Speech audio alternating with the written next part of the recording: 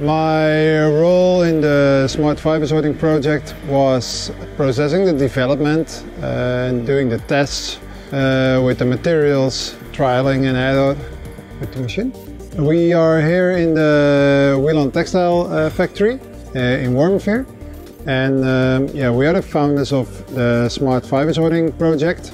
As Wieland, we are a sorter in second-hand textiles. And because of the growing not wearable volumes of textiles, we came to the idea to make a machine that is able to sort on material for a better upcycle uh, solution.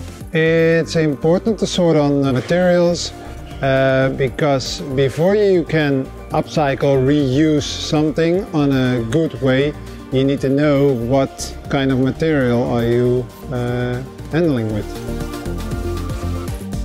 Couple of things that we were uh, struggling with is that every type of clothing is different and the age of the, the garments are different, percentage of material are different.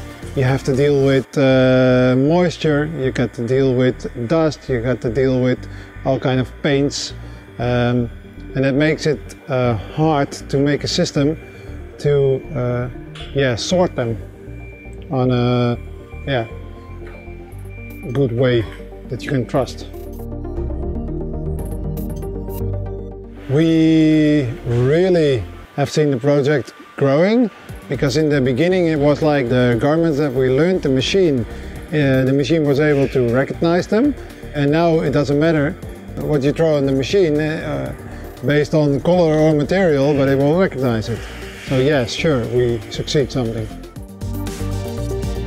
Uh, the way that we are dealing with uh, not uh, rewearable garments at the moment is a downcycle movement. So you have a really valuable uh, material and you're making isolation or other downcycle movements with it instead of uh, making a new and nice garment. On that way I can recommend it because it's way better. Buy a fiber machine, of course.